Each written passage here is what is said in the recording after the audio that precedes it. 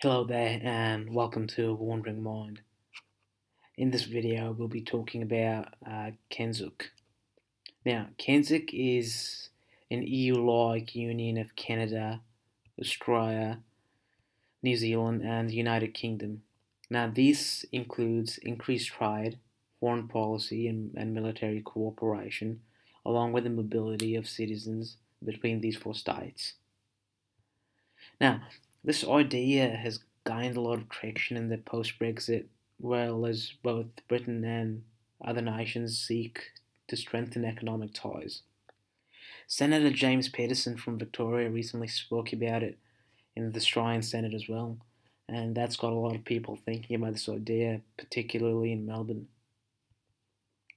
But to take a look at how this idea came into being, we need to head back to 1967.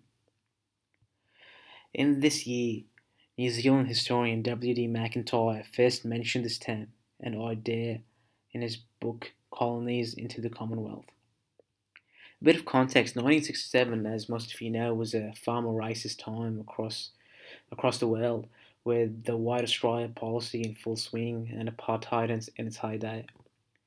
Many feared that a need of labour in Australia, New Zealand, and Canada would lead to increased immigration from uh, non European nations. At the same time, uh, Britain and its empire had very clearly lost its position as the world's uh, superpower after granting India its independence and the disaster that was the Suez Crisis. So CANZUK in essence, was meant to preserve the cultural and racial identity of Britain and its settler colonies, while giving this bloc more soft and hard power in an attempt to reclaim that position as a world superpower that was lost by Britain. This idea was revived again and popularised by James Skinner, the CEO of CANZUK International who campaigned for it amongst Canadian government officials. Here he is with the Member of Parliament, Erin O'Toole, campaigning for it.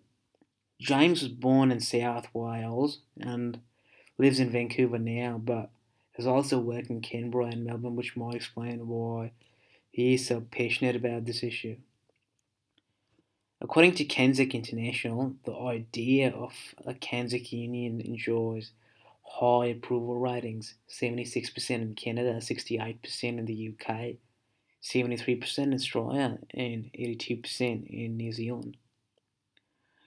Now, uh, an interesting thing I noticed while uh, looking at these numbers was that um, the larger the economy of your country or the population of your country gets, the lower your approval rating for these things. Well, this might be because um, people in larger economies might feel that they are militarily and economically more self reliant, and thus being in a union such as this may not present any benefits and may cause other economies to be relying on them for things like defense, which in the days of the British Empire, Britain was expected to provide.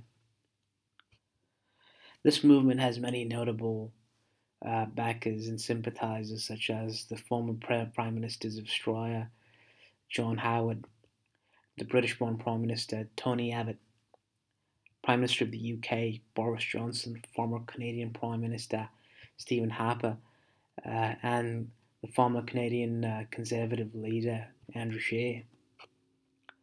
However, the critics of this idea say that CANZUK's just a fantasy and that the project would not make any sense as a geopolitical construct in the 21st century. Because of the gradual separation that has occurred between each of these states in both legal and political culture since the end of the empire.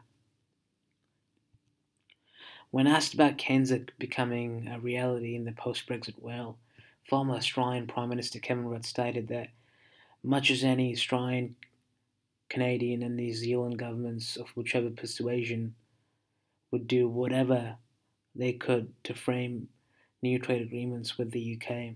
The bottom line is that 65 million of us do not come within a bull's roar of Britain's adjacent market of 450 million Europeans. what he basically meant was that no matter how many free trade agreements are signed between the UK and other CANZUK nations, they will never be able to have the same economic partnership the UK has enjoyed with the EU. Also, to note that these countries don't trade all that too much, with the exception of Australia and New Zealand. For example, Canada trades more with the US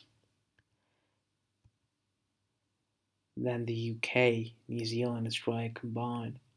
And the UK trades more with the rest of the EU than the other three CANZUK nations combined.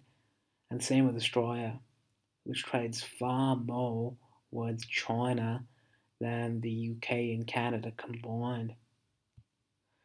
Now, the question we might ask at this time is will it become a reality? Personally, I would love the idea of being able to live in the other CANZUK nations, but there are several very strong arguments against the idea. Therefore, I highly doubt this will become reality in the near future unless we see some significant changes in the economies and foreign outlooks of these nations. And that is the end of the video. Thanks for watching. Cheers.